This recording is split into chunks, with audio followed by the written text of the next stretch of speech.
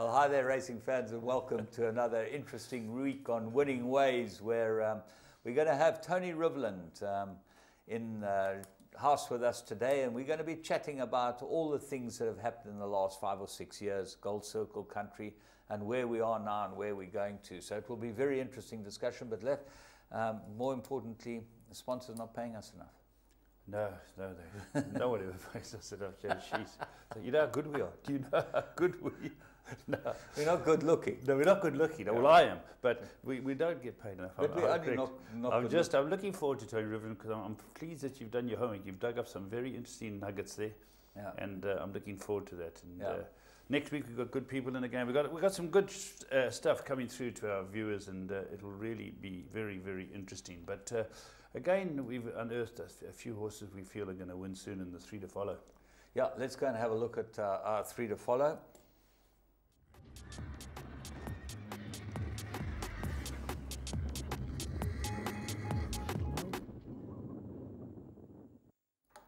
Right, let's go to the Vaal. Um, uh, we start on Tuesday at the Vaal on the turf.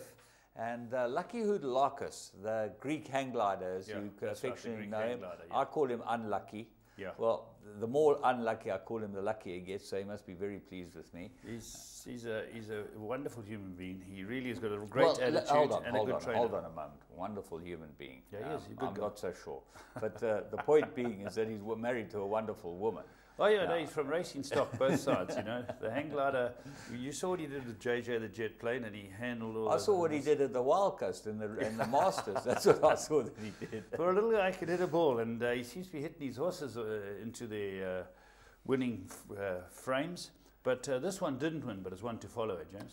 Oh, yes. This is an ideal world bred by Fontaine, owned by a couple of real racing fanatics, and uh, ran a tremendous race, Panchatanta. And uh, nice name. Take a look at this one down the inside.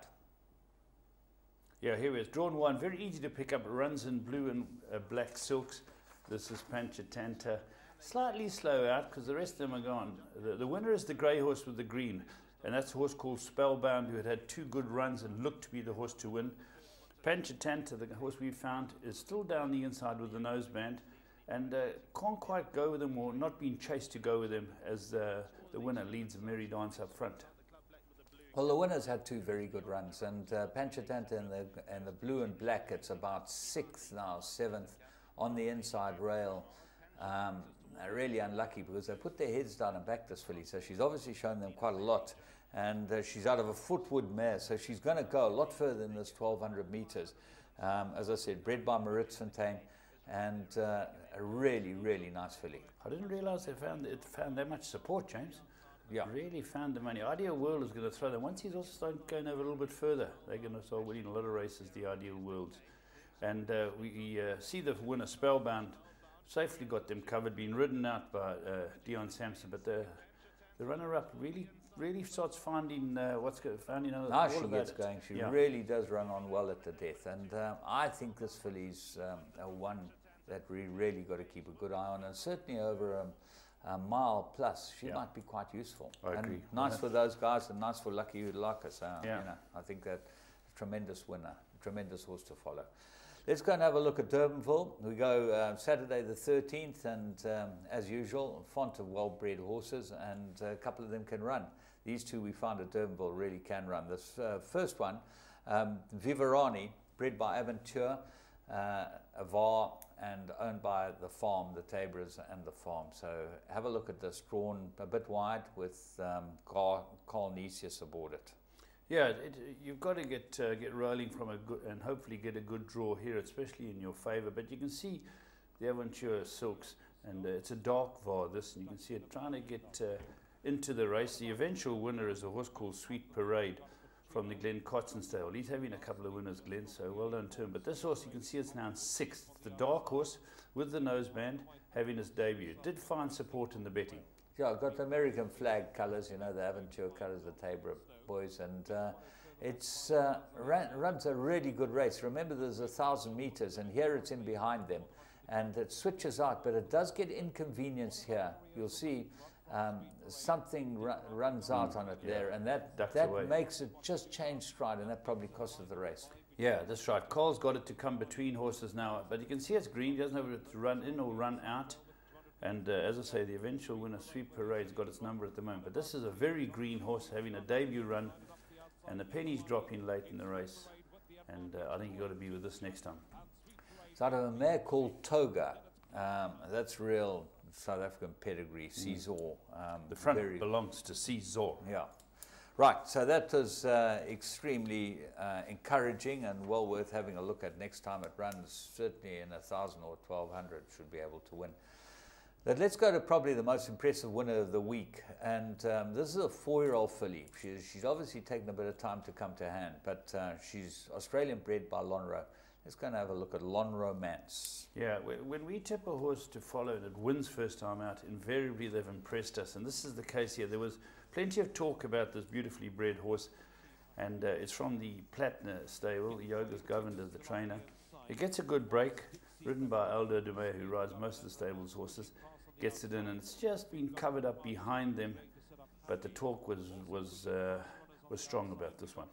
Yeah, uh, the the way this filly goes through them to go and win a race, and I'm not sure that it was a great field, but uh, the point is is that there were horses with form in here and um, it absolutely slices through them and, and, and, wins very, very easily. She's about um, fifth now on yeah. the fence um, in the famous Platner Silks. Uh, you know, the horses like Up in Lights had some form. A couple of them that had been there or thereabouts. Royal Foundation had run a couple of good races. Um, mm. Dixie Rebel looked like had form. Aldo's know, given this filly a very good introduction. He's given her the shortest route round. He's stuck to the short route. Just a slap on the neck, and she comes up to those leaders with a couple of slaps on the neck, suggesting a lot of ability. He's going very easily, going down to 350. And when one works it out, she wins by nearly four lengths because she's starting to run away from the inside fence. He changes his stick, gives her a smack, and the rest, even though she's green, the rest are really not in the race, James. No, she's just actually loping along. I think that uh, she's not fully tested or fully tried here. She just uh, uh, really hands on the neck and just uh, giving her, not even punching her out, just keeping her going.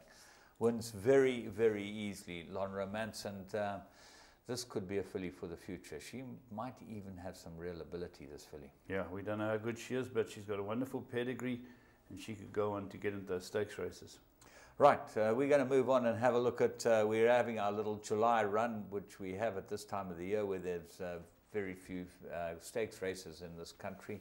And uh, we're going to look at uh, the July from 1976. Now, you'll remember in 1975, Tom Ratley saw that girl's backside running into the sea. Yes. And that completely put That's him off. He bounced off the horse, and that was the end of it. And it was a favourite. Let's see what happens in 1976, uh, where there's no, they kept all the women covered up. So it's yeah. quite interesting.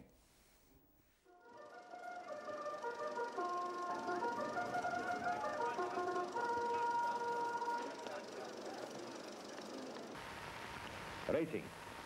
At Greyville, the nation's greatest horse race is about to be decided. The Rothmans July Handicap Pty Limited. We regret that our cultured commentator is not available, so over to our course commentator.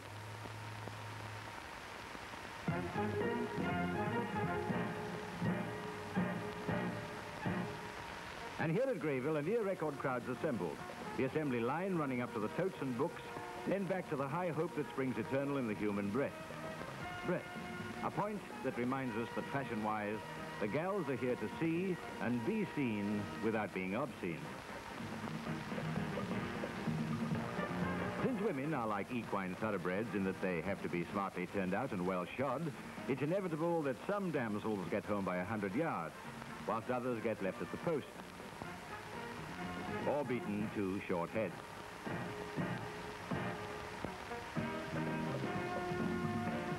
And here's a dead heat.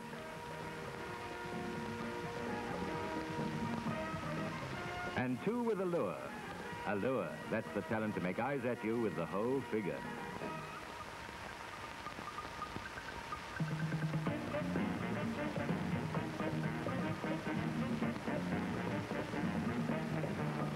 He bought this hat at the red sails in the sunset. And she's proof that a bird in the hand is worth two in the crush. This lad's wearing his motoring denim. And she sporting a nice pair of seat covers. This beauty wasn't betting. She said these days, a rand saved is 10 cents earned. Rhapsody in Red, he plays piano weekdays and the horses on Saturday. And a feathered creation, a tribute to Archangel. It took two cops to stop Sid Laird throwing a saddle over her. An elegant group in contrasting styles. Pass up for the girl in the karate suit. The last chap who accosted her is wrapped up in that parcel. It was a cool, breezy day, and now you know where the draft's coming from. We need more footage for this sensation, so back to the studio. Well, what do you expect on my salary? Caviar and champagne. Am I on, Charlie?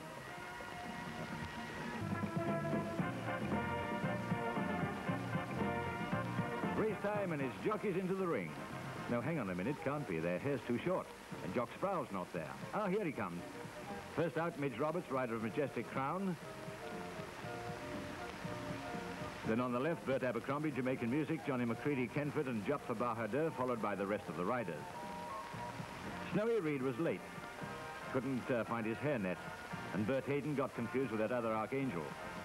Mr. Hurwitz, co-owner of Majestic Crown, and Prince Desiree, their jockeys, and Mrs. Hurwitz.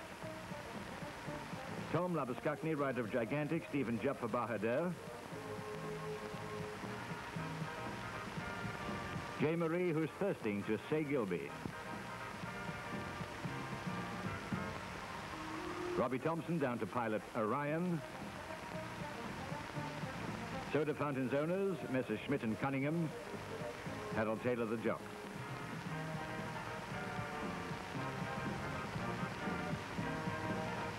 F. Rider of Royal Monmouth. Bert Abercrombie, all calm about Jamaican music, and the owner's wife, Mrs. Crone. Alan Higgins, trainer of Harlech and rider Basil Marcus. Toby van Boermer, waiting for a leg up on Shahriza. Johnny McCready for Kentford with owners Mr. and Mrs. Bernstein. David Burns, rider of Ambience. And the walkout, number one, Majestic Crown. Number two, Sabre. Three is missing, still sorting out the Archangels. Number four, Jamaican Music. Five is scratched. Six is Kentford. Seven is coming. Eight is scratched. Nine, Gigantic. Ten, Shahriza. Eleven, Orion. Twelve, Soda Fountain. 13 Harlech, 14 Prince Desiree, 15 Royal Monmouth, 16 Ambience, 17 Bahadur, and number 7 Say Gilby.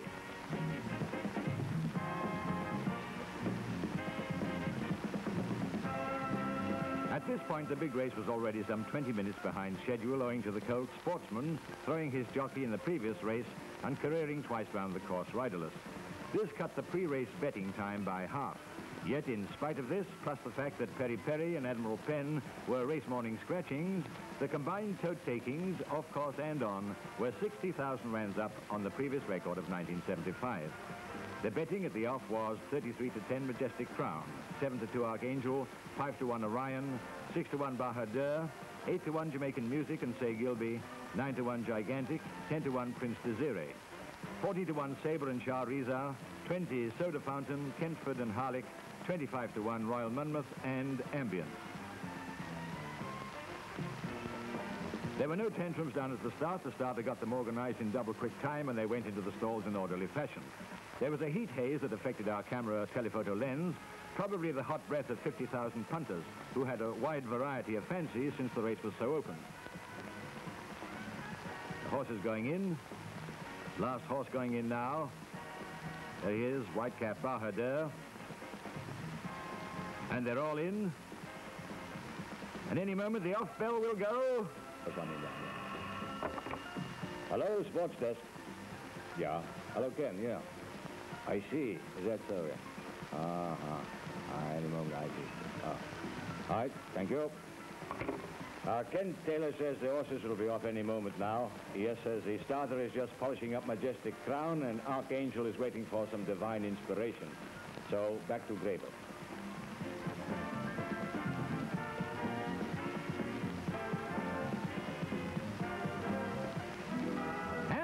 For the 1976 Rothmans July. First to show his sabre on the inside. Others in the van were Harlech, Majestic Crown, Soda Fountain. Say Gilby's running without shoes and not liking it, and at the rear with him, being given every chance to settle down, was the Grey Ghost Jamaican Music. Harlech continues to make the early pace from Soda Fountain and the favorite Majestic Crown.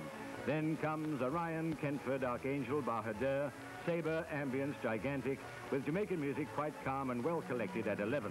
The back markers are Shahriza, Prince Desiree, Royal Monmouth, and last, Say Gilby not travelling at all well. Down the hill to the 1400 metre mark, Soda Fountain takes up the running in a slow-paced field. Then comes Majestic Crown, Harlech, Orion, Kentford, Archangel, Bahadur, Sabre, Ambience, Gigantic, Jamaican Music, Shahriza, Prince Desiree, Royal Monmouth, and Say Gilby for the last round. Coming through the halfway mark, Soda Fountain still showing the way from Majestic Crown. Harlech was running easily, third position on the rails, and some of the better fancied horses behind were going easily. Orion, Kentford, Archangel, Bahadur, Sabre, Ambience, Gigantic, and 10th, still in no hurry to swank, Jamaican Music.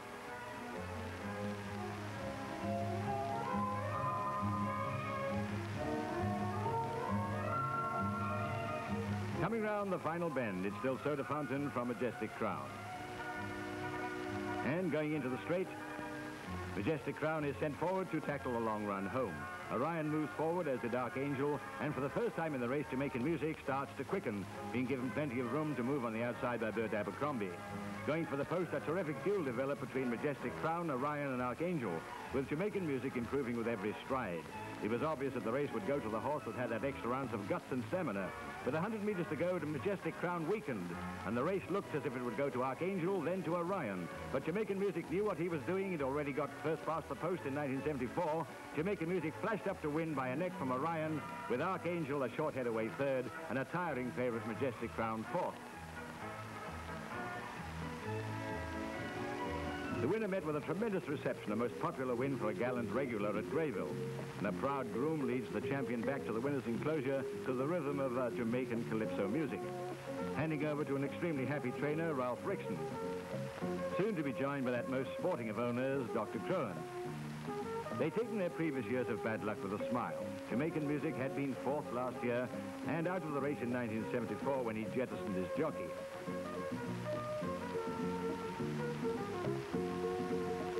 Acclamation, a great and popular winner. And with his saddle off, he looked a picture, a ball of muscle, and blowing no more than if he'd been for a canter, instead of winning for his connections over 52,000 rands in July stake money. The fact that the race time of 2 minutes 16.6 was joint slowest with Yatakan's July was no skin off Jamaican Music's nose. He was there to win, and he did. And as is traditional, Bert Abercrombie brings the grey champion out for the Rothmans sash. We feel Bertie should get one too, for a superbly judged race. Slow into his stride, virtually last in the early stages, 10th for the bulk of the way, and in a final run that got Jamaican Music's head exactly where the camera could see it.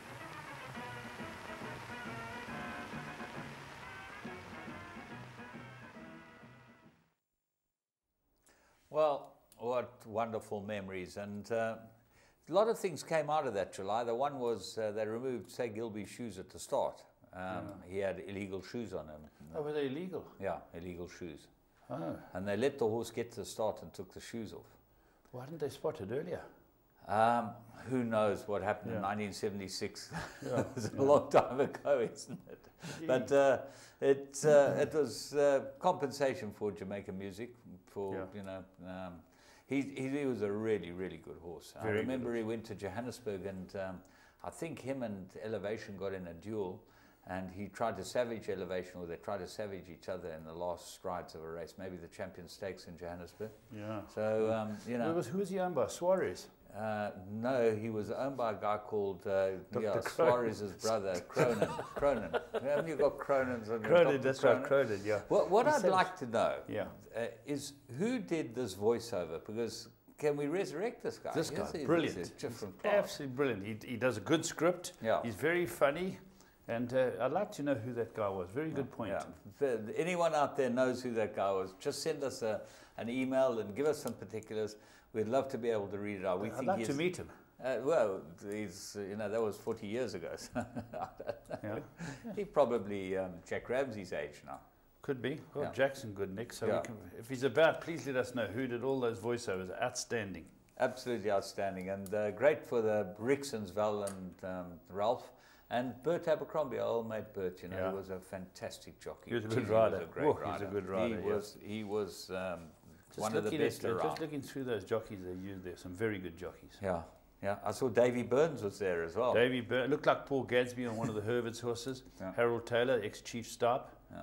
Mace Roberts, who trains now. Yeah, looking through them, it's interesting. Okay, well, let's go on and have a look at uh, our plum of the week.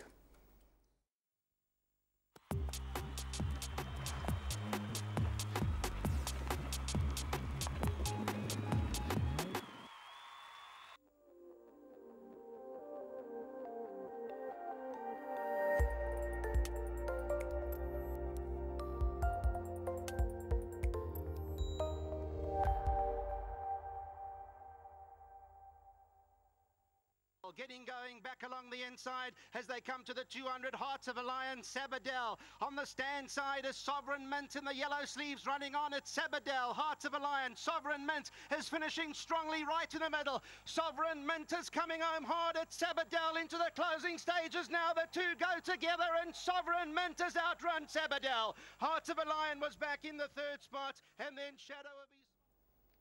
I think there's a great little horse, and I, when I see him run, I want to back him. He's uh, was Mm. Four to one, nine to two. You Yeah. could have got on Interbet, whatever you liked. You know about this horse, he was on a three-timer, uh, and he always is easy to back. And Mm. Yeah, he's a he's a horse that quickens from the back of the field really, really well. He'll give you a run anytime. you like Anytime. And Robbie Sage has been a very good trainer all his life. Robbie, Robbie, wonderful he's a sharpie. trainer. That one. Well, good you know who trained say Gilby was his father, Was Bird his father, Sage. yeah, yeah. and Gunter, Gunter seen a good effect. Yeah. So well done, Tim. That was our plum of the week, eh, James? Yeah. Sovereign Mint. Robbie Sage was my neighbour at Randjesfontein always, next door to Did you know his father? I knew his father well. In fact, Mike de Kock was his father's assistant when he met Diane. He worked for uh, Bert Sage. He had the Okay. barn across the road from me. Uh, right in the beginning of Randjesfontein, right at the beginning when we started, I was the first one then. Bert was, I think, the third or fourth guy there. Okay. And um, Michael was with him first, so, you know, that's um, He cut a his long, teeth long there. time ago. Yeah. But uh, Bert Sage was a great jockey and um, a very nice man too. I really enjoyed him. He had a great sense of humour. And uh, Robbie made a great cup of coffee. Oh, that's all I can say about him. so let's move on. We'll go and have a look at what we've got in current affairs. The best odds on horse racing and sporting events. For every bet requested, we review all the bookmakers and select the one with the best odds. As a result, you always get the best odds. Interbet offers tote betting, fixed odd multiples, and betting with your mobile phone. To get started, all you need to do is register by filling in your personal information. Log into your account and start wagering.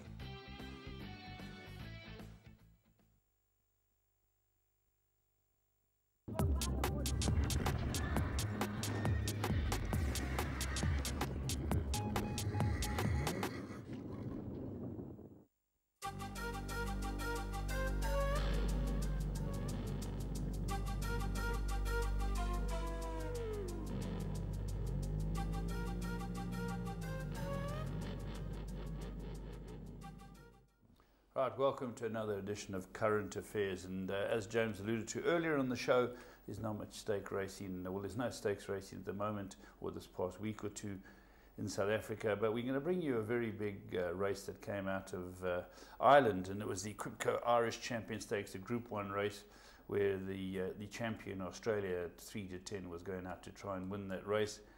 And uh, James,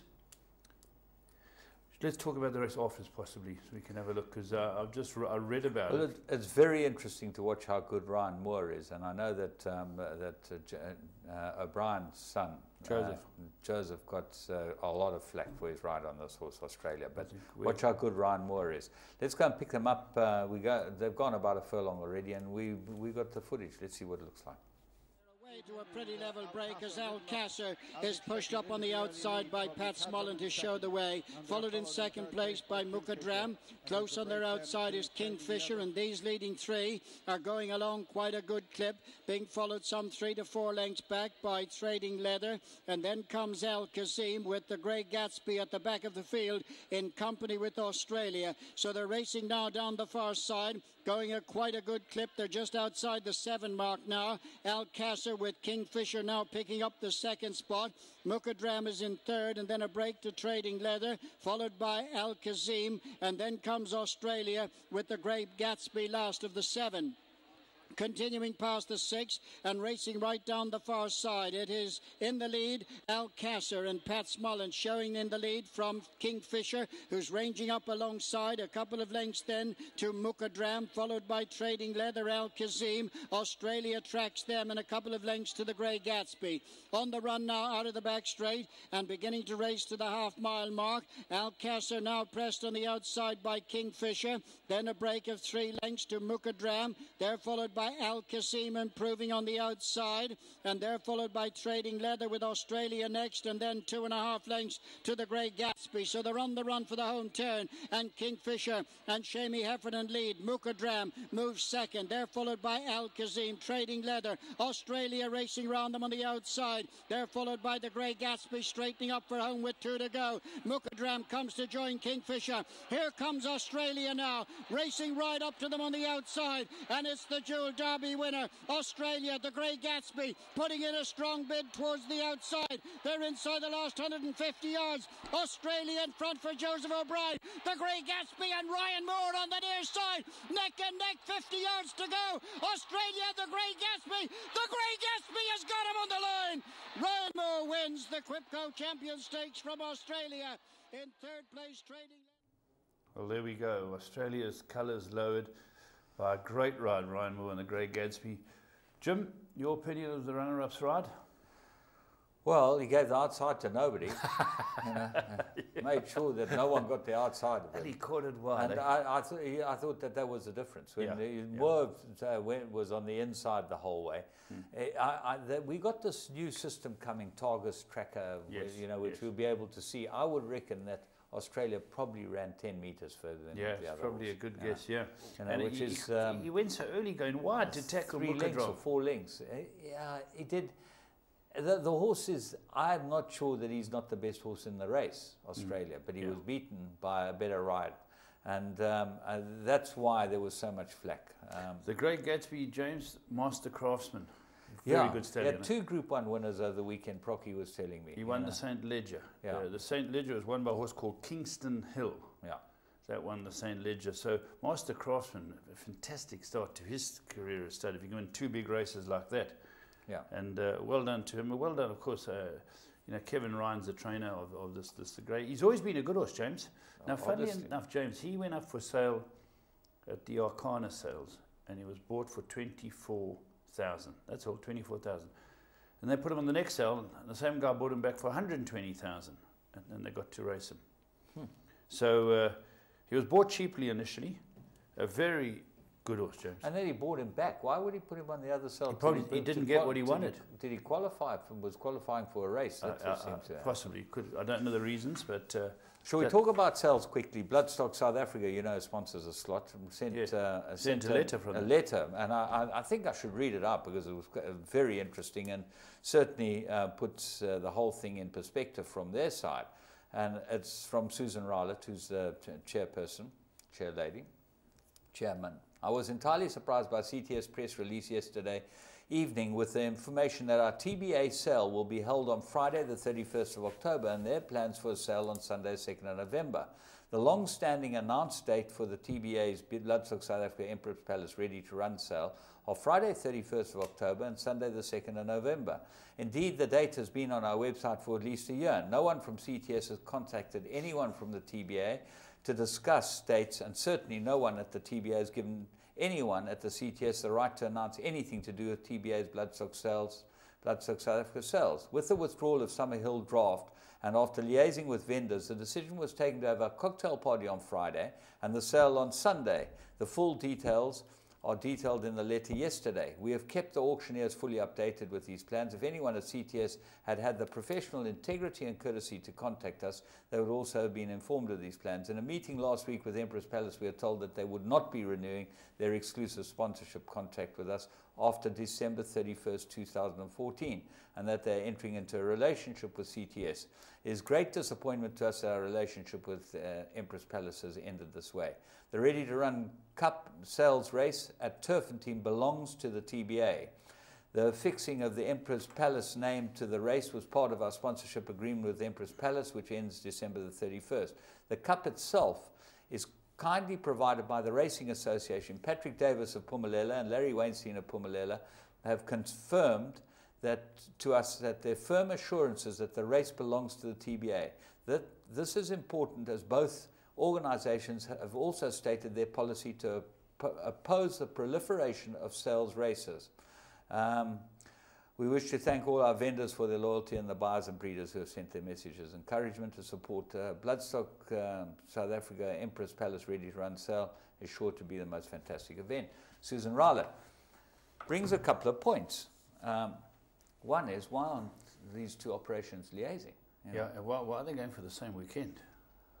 You know, I suppose they don't want to be put on the back foot. Well, it looks like, you know, uh, what, what is known in, um, in um, financial cir cir uh, circles as uh, what they call it, uh, rogue takeover.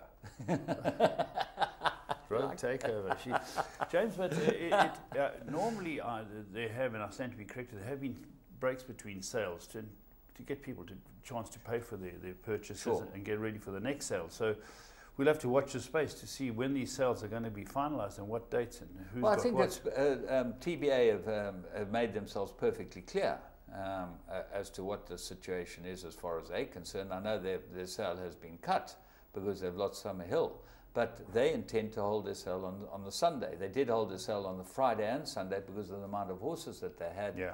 in the past. Um, and really, it's a TBA weekend, so you know, um, I don't understand um, what is to be gained by anyone at this situa- at this stage. Yeah, Ex- you know, even the even the buyers aren't going to gain at this stage. Yeah, the buyers, the vendors, makes it tough for everybody. But watch the space. We will keep you posted of any updates, and that's uh, from Susan Rowlett. Let's right. talk. Let's talk about things that have happened uh, around the racing world. And uh, ruler of the world uh, won the Epsom Derby a couple of years back. Had his first win since then, James. Yeah, he won the Prix Foy, which is a um, a great uh, build-up for the Arc de Triomphe. Yeah. And he's probably going for the Arc de Triomphe, but the Arc de uh, picture has changed quite amazingly. Ooh, Treve yeah. has drifted. Yeah, let's talk about Treve. Treve came out and uh, looked, uh, I think on the Prix Vermeille, looked uh, hardest to beat. But uh, last year's Arc Heroine just was never at the races. Sat last round, a very weak fourth behind Baltic Baroness, who's by Shamardal. And uh, Treve has now gone to 6 to 1 from 7 to 2 for the Arc.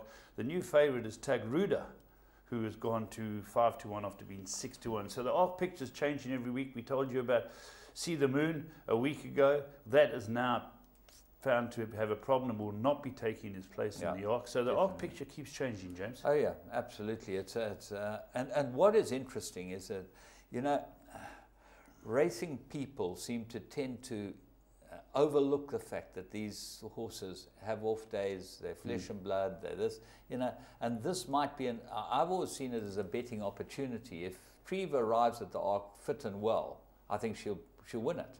And, you know, to get this sort of price yeah. about her, I'd be having a little each way in the market as long as the websites are saying that she's okay. Yeah.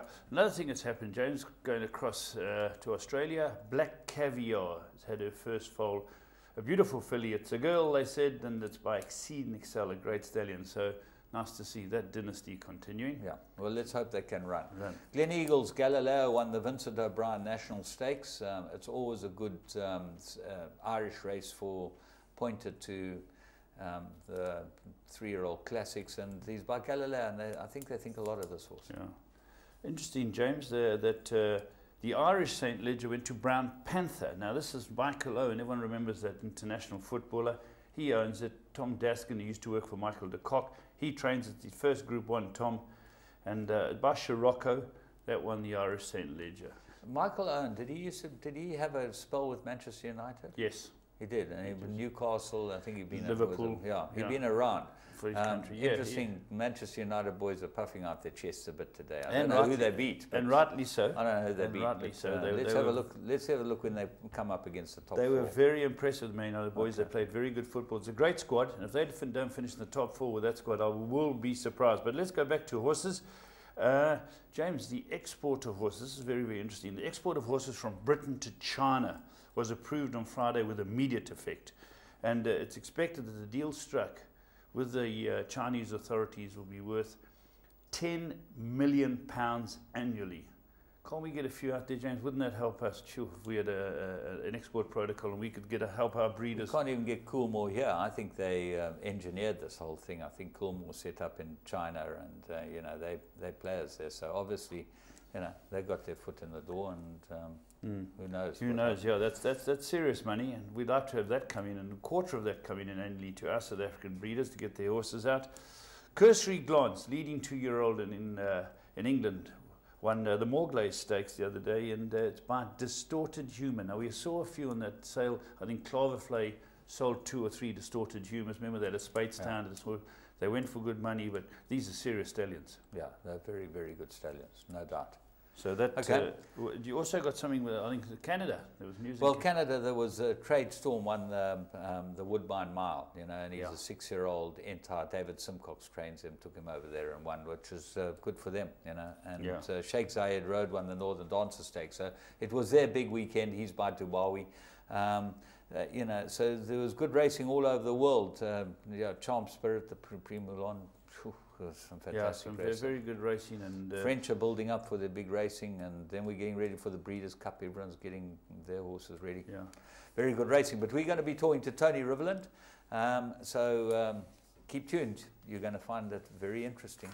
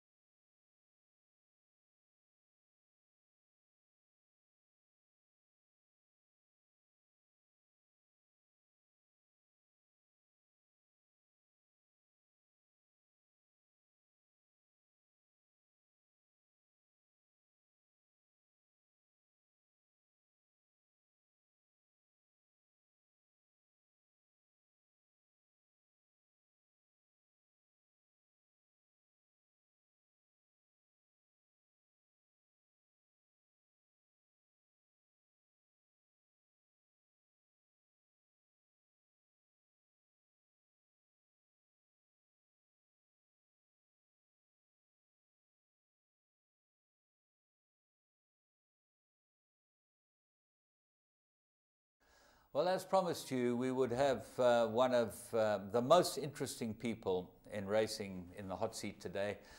Tony Rivalland uh, is not only a trainer, um, he's one of that rare breed of people that really would like to do the best for the industry and um, does sometimes affect his own business as far as, um, you know, you're putting your head on the block. And Tony, nice to have you here, but it certainly does affect your business being an outspoken person, doesn't it?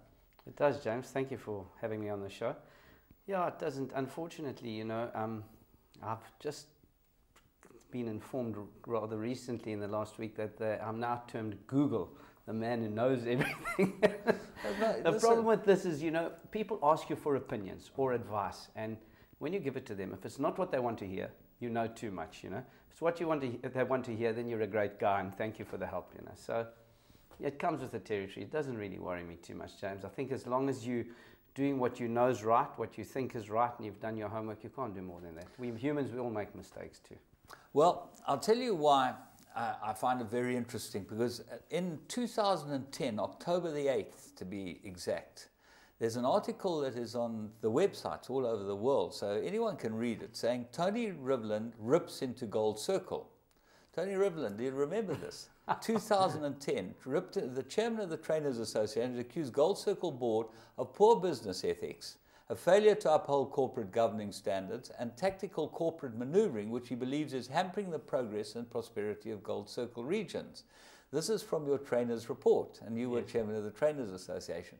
Now, what is interesting, you um, brought up a few points, and I, I, can read them because they're out in the public domain. Some people might be very unhappy about them, but I think that, you know, in light of five years or six years, four years later, what's happened, Rivalland feels that Gold Circle has left uh, trainers, etc., weak and at the mercy of fate in what he terms the darkest time in our history. He lists a number of issues and concerns. Dismissal of Michel Nairac, okay. Um, uh, you had a go at a few other directors. You said that the regional Summerveld was hijacked by one Gold Circle member. There was going to be a hotel and all of that there, and uh, stable rental increases and leases that were unacceptable. And um, you, you had a full go. Now, in light of that, okay, where are we now? I think we're in really a good position, James. You know, it was unfortunate at the time that obviously when you're, this, when you're writing to the body that you represent, and in that capacity I was writing as chairman of the Trainers Association, you've got to tell it as you see it. Um, you're representing those members. It's your duty. Um, you're certainly duty bound, I, I think, to, to lay the cards on the table as you see it. Obviously, it was an unfortunate period um, in Gold Circle's history because, as you know, money shortage, you know, problems with the Western Cape. And it's quite sad, really, because it's not that we had personal issues between the directors, it's just we had different ideas on how the business should go forward. And unfortunately, um, you know, there was a bit of hiatus with changeover in board members and you know, we thought that possibly Michelle was a little unfairly dismissed. We still believe that. Some of us, not all of us, you know. And um, I think since Michelle's come back, the business has also done very well. There's a lot of, hell of a lot of changes that have taken place in Gold Circle. I mean, obviously with the unbundling of the Western Cape, um, KwaZulu-Natal now standing on, it, on its own. Um, but in racing, as you know, there's always these problems. We've had this problem with Tellytrack and the bookmakers, which is a great pity because Gold Circle would have, I think, paid most probably the high stakes in South Africa this month. We would have had a stakes increase um, that would have certainly surpassed Gauteng, even if it was for a short period of time before they have their stake increase. And I think that would have been good for KwaZulu-Natal racing because we're both trainers in this province and we know that it's not that easy to find the right buyers in KwaZulu-Natal. We're very fortunate that we have the, the Asian gentlemen that buy horses for us here. They put a lot of money into racing in KwaZulu-Natal. But uh, there's no doubt that the shift has been to the Western Cape for a long time. I think a lot of the the, the, the richer people that have retired have seemed to gravitate towards the Western Cape. All the top stud farms in the Western Cape, and I think those trainers obviously have an advantage over the rest of the country because the buying power's there. Notwithstanding that, they also have the European money that's that's dominant in that province um, for obviously geogra geographical reasons and so I think, yeah, it's, it's interesting. yeah, you know, it's where you always got to be careful when you open your big mouth and you put these things are reported, you know. You've got to hope that but, history treats you kindly. Well, the point is that history has not only treated you kindly, but it does look like um, whatever you said, and there's some pretty harsh things that you said in those, in, in the, this article. Uh, not many people have the guts to say these things um, have actually borne tremendous fruit as far as um, your visionary, visionary look at what was needed to happen. And Gold Circle seemed to have changed the whole tack from that time to encompass Gold Circle and make uh, KwaZulu-Natal um, the best racing jurisdiction, certainly in South Africa. I would think so, James. I mean, exciting things have happened in KwaZulu-Natal. Obviously, unfortunate that we had to get rid of Clairwood Racecourse because it was a great racing venue. But I think we've all got to be mindful of the fact that if there isn't enough money in the stakes pot, your racing is going to deteriorate and seriously because most of the guys at race horses today, um, the middle of the road guys, need stakes to help pay, to subsidize some of their training fees. We know the figures, owners subsidize the industry to the tune of about 550 million rand per annum.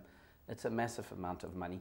You don't want to keep increasing that shortfall. If anything, if you can shrink it, it's good for employment, more horses in the province, more people to race, more people employed. I think it's just generally that's what growth is all about. And obviously with, with exciting developments at Summerveld and Greyville, I mean, I think we've, we've, there's something different. There seems, I get a feeling there's a new buzz in KwaZulu-Natal. Just with the poly track, people are more excited now. There's different options. We're going to race every Friday night from the start of this month. And I think you're going to see quite a buzz here at Greyville. And I think that'll help attract new people back into the racing industry. Well, what interests me is uh, I, I, agree with you, but I've seen a great change in the focus of KwaZulu Natal racing as far as horses are concerned. We have very few empty boxes. Um, which I think uh, is indicative of um, you know the, the, the planning that we're putting into it. Then, then you can't find stables here in Summerveld. Everyone is looking for extra stables, and yes. at Ashburton, isn't isn't that the fact? That's the reality, James. The, the stable complex is full. In fact, the racing subcommittee um, took a decision two meetings back to put a moratorium on the issuing of any new stables in KwaZulu Natal. Mainly, as you say, because we're full. Um, yes, there are pockets of empty boxes. Not all trainers, a trainer may have 40 stables and have 37 horses. That happens. And three oh, months yeah, later, he's got he's looking for three extra boxes because the numbers. It's a dynamic business. Horses come and horses go. But I think KwaZulu Natal, and there seems to be more and more people making application to want to come and train in KwaZulu Natal. I think here we've got to, the board, the, the, the policy in KwaZulu Natal has always been to look after owners and trainers. When I hear people talk about let's ramp the box, box rentals up, at the end of the day, the trainer will pass that cost on to the owner. Mm. And we want to ensure that those costs will always come back to the, to the owners in the form of stakes. But we've got to be careful, mindful of the fact that most people lose money. And the result, the more you push the costs up, the barrier to entry becomes higher. And if that's the way we want to play the game, well, then we'll, it'll only be for the preserve of the very rich. And whether racing will really progress, um, in my opinion, I think it would be a detrimental step backwards. I think you've got to keep the costs fair to owners because most of them lose. And, um, and I think that's what they do. That's been the policy in KwaZulu Natal. I think Summerveld is a world class training centre. I say, I was very disappointed um, to see an old Natal stalwart and one of our best trainers in South Africa, Vaughan, mention that he wouldn't like to come to Natal for the winter season because of Summerveld. Now, to I think Brett Crawford Dennis Dry, Glenn Kotzen, every year those horses come up from the Cape. They never fail to win the big races during the winter season. Well, Brett Crawford, uh, interestingly enough, probably had the best season of anyone in KwaZulu Natal, of any visiting trainer. Yeah. And as Brett said, is if you can't train horses at Summerveld, there's got to be something wrong. It's, it really is, I think, a first world training centre today. In fact, if you have a look at Ashburton and Summerveld, what we did at Ashburton a few years ago was change the sand. There was a slight problem. I offered them some advice, the, the Ashburton trainers, and we went for a very similar sand. Well, it's exactly the same sand, in fact, that we use on the number two track at Summerveld and the number three sand track at Summerveld. And in fact, Ashburton have just now changed their short track to incorporate that sand as well. We don't have to, we know how well Duncan Howells has done from Ashburton. So I think that's as fine a sand as you can get anywhere. Yes, it comes at a huge cost to Gold Circle. And thankfully, we've got a board that understands, well, it's, the board have made it clear that Summerveld has to be the premier training centre, certainly in South Africa. And hopefully, we want to put it up there with one of the best training centres in the world. And, and I think it has the potential to get there. We're not there yet, James. We've got a lot of plans afoot. Um, but you need money for all these plans, unfortunately. And that's why it's a pity we had that hiatus with Tellytrack and, and the intellectual property and the bookmakers because it cost Gold Circle a real big amount, you know, large amount to its bottom line. Without that, some of that money can come back into doing different things at Summerveld. And you train there, there's lots of exciting things we can do at Summerveld to really make it uh, possibly one of the five well, best training centres in the world. The, po- the point is, is you know, Vaughan uh, trains at, um, at Milnerton. Yes. And if you actually stand Milnerton here and Summerveld here and compare the two places and what they have in facilities, my goodness gracious, you can't make a statement like that. you know, they've got to one sand track and a cinders track. Yeah. The sand track is that deep, okay. Yeah. Um, the cinders track, not great in the amongst the houses. Yeah. They've got a tiny little bit of grass, okay, which I watched Bass battling to work a couple of horses on, and the stables are older than me. so that place, you've got Summerveld on the other hand, which has got these magnificent stables, which um, I know you had um, um, a, a piece of designing. You've got two grass tracks, one nine furlongs and one six furlongs. Yes. You've got three sand tracks. Yes. You've got a poly track. Yes. You've got trotting rings. Yeah. You, you can't even com- begin to compare them. I don't want to have a go at Vaughan either because he's a mate of mine. Yeah. But at the end of the day, the, the proof of the pudding seems to be why does everyone want boxes in Summerveld? Correct. If it was so terrible. Yeah. I'm also pleased if you notice, I mean, the, the the top races are still consistently won by horses trained at Summerveld. And I think Brett Crawford, they're training, whether it's sprinting, horses to win the big sprints or horses to win the big staying races, they, the Summerveld can produce those horses. Um, no, I, I must say Mark Bass was, was at the dinner we had, the, the parting dinner, when, you know, the, the, the thank you dinner we have for the visiting trainers. He was very complimentary about Summerveld. I was quite surprised because I didn't know he even knew where Summerveld well. Walter, yeah. But he said, well, I think he was making comparisons to Milnerton, which you've just alluded to. And he said, you know, there's no comparison basically. No, so no if you come to Summerveld, you certainly should be, you should be quite lucky and happy. Just talking about the new boxes, which are unbelievable as far as an architectural structure are concerned. Um, how have you guys settled in? I know you're in the new boxes, you were the first guy in there. Um, does it look like it's good for you? Yeah, James. I mean, they, they, they are really are beautiful stables. Um, you know, some people have said they might be a bit too big and we're going to use extra bedding. Actually, with the strip of rubber we have in the box, we're actually not using any extra bedding. And they're beautiful, big, airy stables. I must say the horses are really relaxed in those stables. They seem more relaxed. I don't know if it's my imagination at this point, but they seem more relaxed than they were on the other side. Mm. Um, I'm still getting used to a barn. You know, I've been training 30 years in January in KwaZulu-Natal, and I'm not used to a barn. It's the first time I've been in a barn. But uh, with the rubber flooring, and, and it's very quiet, so that's nice. It's very airy. So I am enjoying it from that aspect. Look, I had a lovely yard in Summerveld that I gave up to Gavin, gave to Gavin van yeah, I was surprised. It was one of the that. nicest yards. It was not an easy decision to make. Um, but I made that decision for many reasons. I was, you know, obviously I didn't have enough horses really to fill that yard. I was trying to please everybody, and I think we've most probably achieved that. Most people are going to be in their new yards by the end of October. You'll have been in a new yard. Uh, Kevin Wright's moved to a new yard. Um, apart from the clever trainers I'm talking about, Colin Scott will have moved to his new yard. Um, Robbie Hill would have moved to his new yard. I think generally everybody got a fair slice of the cake with the shuffle around, and I'm really pleased about that because that's what we're there to do, is to try and make trainers' lives happy. That's why I'm at Summerveld. You know, I'm a trainer myself many years. It's a hard business. It's an impossible business. You know, Michel Nairac always says, how can, how can it be an easy business? You race 12 or 13 horses in a race, there's only one winner. So there's 12 guys making excuses every single race. if you've got five or six runners on the day and you haven't won a race, you're making a, a lot of excuses. So it's, it's not easy. It's a seven-day job. It's a vacation training horses. So you've got to make it as pleasant as possible for the trainers and their staff, of course. And, and that's what we aim to do at Summerveld. Just uh, moving on to new developments, so Polytrack is obviously a huge thing. Um, how's, in your eyes, have you seen people taking to it and um, what does it look like? James, from, from a training perspective at Summerveld, Anton Marcus, um, I was having a chat to him on Saturday morning after we finished work, and he said to me, Tony, I think this is the best Polytrack one I've ever ridden on. Which I, one at? Summerveld, which mm. I was quite surprised about. Because it's quite firm, isn't it? it? Much firmer than the one we have here. That's the strange thing, James. It's not. It's just a very different surface. Um, if you do Clegghammer test, you'll see that the polytrack at Greyville is a lot quicker than the polytrack at Summerveld. In fact, do yourself a favour. It's a bit difficult at Summerveld because obviously the last uh, 400 metres you finish up quite a steep incline, so you can't get the speed up. But um, the, have you seen how fast these times are? Yeah. They're very fast, faster than the grass. Nearly every single race is faster than the grass. Um, where Summerveld you'll find I've timed horses. I've taken my stopwatch to the track, you know, reasonably regularly, and horses are not coming up that hill faster than they are in the sand. Strangely enough, Anton thinks it's very soft, but it's very different. It's slightly stickier than the poly track at Greyville, but um, yeah, because Sean Terry said to me the other day he felt possibly the track was a bit firm, but Anton Marcus thinks it's brilliant. Um, and I've been speaking to the jocks who ride on it. You know, Kevin Wright rides on it quite a bit. MJ Odendaal, um, Stuart Randolph. Whenever they come off, I ask them. But I must say, Peter Morrison has been very good from Polytrack.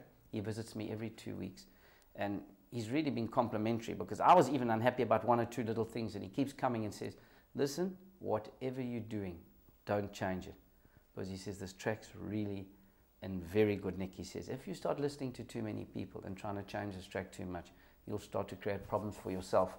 He said, so I, he says, as far as I'm concerned, it's very even. He's done his own test. It's very even. I'll do regular testing on that Summerveld track. Don't forget, we work early in the morning there, James. Mm. It's a lot cooler than we've been racing middle of the day. Yeah. At Greyville, it's a lot warmer. And it's all depending it's wax on based. Yeah, it's temperature, yeah. because it's wax based. Mm. And obviously, wax becomes more viscous the hotter it gets. In other words, it melts and so it becomes um, you know less sticky. And um, so the track becomes less firm and you get more kickback. And, um, but with a little bit of water here and, and the way they'll, they'll, they'll prepare the track, this track hasn't had any water in it yet at Greyville. Once you have a good rain, it'll settle. You'll see you're getting surface kickback at this track. But if you go and walk on it, James, and walk on, Robbie Hill actually mentioned that to me the very first time we galloped here at, at Greyville. He said to me, "Geez, it feels harder than the Summerveld track." Martin Collins was here himself the day we opened Greyville. He'd been to Summerveld. He'd been at Summerveld with me in the middle of the day. First thing I went to him and said, "It's interesting. The jockeys think this track's softer than the Summerveld track." He says it's just a perception. He says it's definitely a lot harder than the Summerveld mm. track. And that you can do by the Clegghammer readings. And we've also got a pointed stick we use. And the way it penetrates into the surface it gives you a pretty good idea on how the track's behaving. But I think we've got to understand that we do race, we do work in the morning at. It's cooler, and so the track will. And as it gets warmer, you can see at half past nine how much softer it becomes yeah. quite quickly. Interesting two things that have come out of the racing at Greyville, and you can probably answer them. One, there's quite a lot of kickback. Yes. And, uh, and the second point is that there's definitely now a, a talk that are better in the middle of the track. Yes. Is that a fact, or is that the usual, you know, sort of. Everyone's James, you know, I, I, I, don't believe that because I watched one or two meetings here where they actually went one right down the inside. I think Anton Marcus won a horse on a horse of Karen Anthony slipped right up on the inside one very easily. I think because there's no false rail, the guy's inclined to make a run. If you're sitting in behind a horse, you pull out to make your run. Mm. The guy's a bit nervous to go in because if the horse in front of you rolls into the fence, you've got nowhere to go because then the other horses are right next to you, so you're going to be pocketed. So my tendency is watching the, the winners where they've come from. They've come from all over, but certainly the guys, the horses travelling well, one off the fence, inclined to look for an early run, so they pull out right at the top of the straight, and that's, that's how you find yourself in the middle. I think, though, we must be mindful of the fact that when we're harrowing it, we're harrowing the middle and, and the inside of the track because the implement wasn't wide enough and because there wasn't many, there weren't many horses racing on the outside, we weren't harrowing the outside. We are now harrowing the outside. Now you've got two implements. Two implements, yeah. Now we're driving them down the outside as well because there was a, a feeling that possibly the outside two meters, the horses, a lot of horses were cantering down to the start that way. And because we weren't harrowing that part of the track between race meetings, that track had become a lot firmer. Because the more you harrow that track when it's soft, the softer you're actually making yeah. it. Yeah. You know, because it's very difficult to lift the tines up on race day completely. When you're preparing this, this, track, is quite interesting. Martin Collins was explaining to me how you've got to layer this track when you toughen it, soft, harden it up. Kurt had put the power harrow on because the Clegghammer readings were going into the hundreds. So he power harrowed the track. It became quite soft. You normally power harrow to a depth of about three and a half inches and then we raced on it the meeting after. And that was the meeting, it was a lot softer in the middle of the daytime. And what happens is it's quite tough to get that track hardened up again. Now, we had a bit of water on it, would have firmed up very quickly. But Martin explained to Kurt how you, you need to relayer that track and firm it up again. So you, you actually really from the bottom up, yeah, from the you? bottom yeah. up. You yeah. actually relay it. So yeah. yeah. at four inches, you lay a cushion of three inches, then two inches, one inch, and then you don't put the tires down at all. You just roll the track, and then you reset the surface to an inch just over an inch and a half. And that's really what your galloping medium is, and your pad underneath is quite a bit bigger. I'm going to be very interested, and I think that this is what we're looking forward to, to seeing how this track races when we've got a lot of water around. And it's coming. We're, yeah. We've had the worst drought we've ever had, but when we get some water, it's going to be great. Yeah, it's going to be great, James, yeah. And I, what, the one thing I really have liked about this track, horses are winning from up there. They're winning from anywhere. Coming from Stone Last in the poly track to win. I think you can't get a fairer track than that if that's happening. Can we wrap, Tony? Yes, of um, course. Any thoughts that you've got for the future? Gold Circle that you need to portray out there. I, I, I just you know can't help but say to you, what a wonderful job you've done. Oh, thank you, James. I really appreciate it. I've enjoyed it. It's been a challenge. The Summerveld development's been a massive challenge to me. I've had rashes on my finger at times because obviously, you know, you the guy in the hot seat, you the trainer, they've they've got involved in conceptualizing this thing, of course, with the professionals and then things don't go quite the way you want them, and then you're worried, and you know, then all the little snags that you get when you with building today, you can imagine what it's like. It's not that easy. You're building a big, a big complex in record time. Little things, these little niggly things that are going wrong all the time.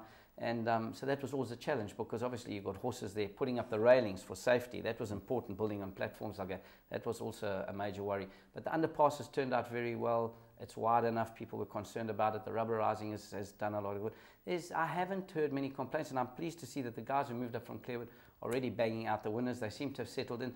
All the concern about the rings, as you see, it seems to have died mm. down. People are ringing all over at Summerveld, and lots of guys are working on the turn now too, which is taking any traffic we had off in the centralised point at Summerveld. And, and we've got lots of exciting things we'll still do at Summerveld, James. So. Tony, thank you so much for joining us. It's been an absolute pleasure chatting to you. And for those of you that don't really know Tony Rivalland, he's opinionated, but he's pretty bloody close to the mark. And um, some of us have had to eat humble pie all the way down the road. Lovely having him here with on Winning Ways. And uh, next week we'll look forward to another fantastic show. Have a great week's racing.